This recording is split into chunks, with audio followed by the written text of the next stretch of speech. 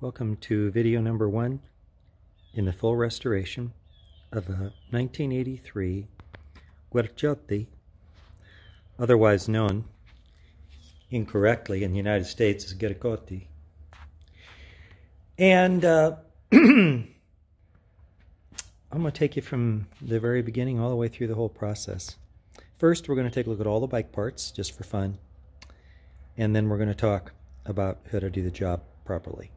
So let's look at some parts, okay? Here's the frame. Minor issues. The paint almost has a white dusting on it, which is very common with oxidization and be cleaned up. a teeny bit of spot rust on the chrome down there. It's the condition here. Campagnolo front hub with Ambrosio. These are sew-on tires. How about that? The real thing from the old days. And this is a Mavic rear wheel, so I'm going to guess that somewhere along the line the rear wheel had to be replaced, which is not a problem in my mind. Here we have a San Marco gold seat, again from early period. Let's put the frame back where it goes. And Then we'll go inside and look at the other parts. Mostly it's campy. I would be very surprised if this did not come with a uh, Campagnolo uh,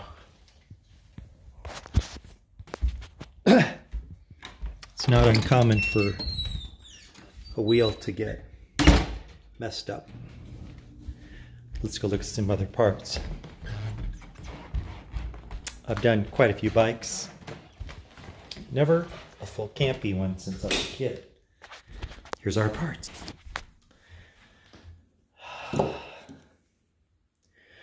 Nuevo Record Campagnolo. I think those are Nuevo Record. Campagnolo crank. Isn't that beautiful? Guercotti. Indicia Guercotti seat post. Campagnolo. Nuevo Record. Familiar. Beautiful chain. Free wheel. Beautiful leather wrapped. Original. Campy levers on there, I think, too. Absolutely. Nice bottom bracket. Looking good. Okay, let's uh, talk about some rules of the game and how you approach a job like this. Let's grab a tripod.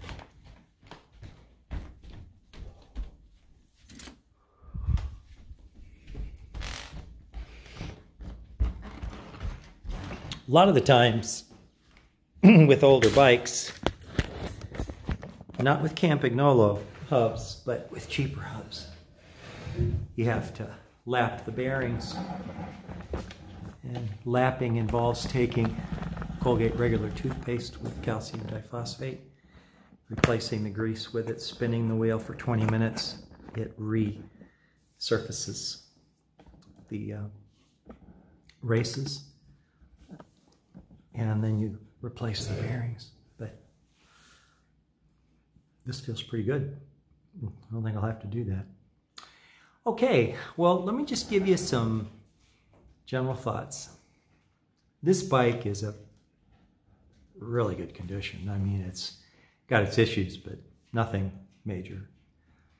Probably the hardest part will be to try to get a little twister on those rear axle threaded things that you can adjust the position of the rear axle in the uh, in the frame there in the dropout. It's missing one of the little twirlers. Very common problem.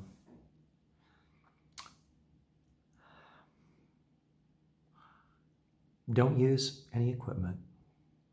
Don't use Dremel tools. Don't use grinders. Don't use polishers. Don't use anything electronic that's a rotary piece of equipment. You can do things a lot faster, but you can also ruin a lot of these parts real, real quickly. Out of everything on this bike, I think the only thing I'll use a Dremel with a polishing nub and Mother's magnet aluminum polish is on the center bolt for the brakes, the one that you can see. Those look like the plating is pretty well gone. And if they are, I'll well polish them off. If you use a wire wheel on a bench grinder, you're going to take whatever factory finish was on there right off. If you use anything like that on aluminum, you're going to ruin the aluminum because the steel is much stronger in this wire brush on a bench grinder. Everything's done by hand, and it's done slowly. If you do have to work with a brush, you use brass only, a handheld little cheap brush that you can use for cleaning because the brass is softer than the other, than the steel. That means you use like an old perfectly clean t-shirt and you put just a little dab of polish on the cloth, work it into the cloth so that the goop is not, you know, floating on top at all. It's just in the cloth, then work it with that cloth. Do everything carefully by hand, lubricate by hand. I don't want to bench grind the chain, but that one looks iffy and the free freewheel's pretty crapped up. I'm going to hit them with WD-40. But if you go slow and you go careful, you'll have a great outcome. One of the tricks with restoration is your finished product is only as good as the work you did every step along the way. If you worked on the paint on the frame properly and brought the decal work or the painted decals back properly. And you worked on the derailleur and lubricated it and took it apart properly and and and polished it properly and used the right cabling and set everything just right and got the wheels tweaked in. If every single step is correct, absolutely right, then you end up with a killer bike. And the answer is work slow, patience. I don't know how many videos are going to be in this series. Might be 20, 30, 40, 50. I don't know. We're going to start cleaning up the frame just because I love the frame. It's so beautiful and I'm going to have fun watching it come back. We'll be making decisions. When do you depart from what the factory had? It looks to me like they put a very thin clear coat on the chain stays where it's chrome. And of course, that's in lousy condition. So I can take it off and just polish out the chrome, or I can repaint it. Or I can leave it and just clean it up a little bit. All these things will be discussed and, and worked on together. You're going to see each and every step. I don't intend on doing anything without recording it, so you really will see what does it take to bring back a 12-speed from 1983 that was a marvelous Italian racing bike, all campy, uh, faster now, you know, and those uh, sew-on tires. I've never had a bike that had sew-on tires. I had a bike once when I was a kid that was an Itala that originally had sew-ons, but didn't by the time I got it. So I'm going to actually be riding putting those suckers on and riding with them. Probably next spring. But anyway, welcome to the video. Be patient as we do the work. Wear gloves, wear protective eyewear if you're working with liquids, cleaning compounds and such. Be sure to work with stuff outside where there's lots of good uh, ventilation. We're going to take our time and we're going to bring this bike back right. Welcome aboard. Again, this is video number one in the series on fully restoring a 1983 Guerciotti. I will mention it's a 25 inch frame.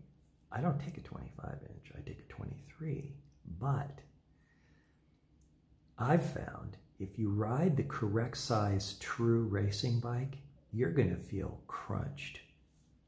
Just not enough reach. The larger frame is going to give me a more comfortable ride. We'll have to watch getting on it, getting off it, not to get hurt. And uh, but that's okay. Uh, but I went a little bit large, understanding what that trade-off would be. But that bike will be comfortable to ride in the 25 uh, inch size. Much more comfortable than the actual true size I would have raced. I don't want it curved back, turned, I don't want that position. I want more up. I'll also be able to put that handlebar up a little bit higher because it's on 25 inch. And the seat will have to be a little bit lower. you know, that's another thing too. Anyway, here we go.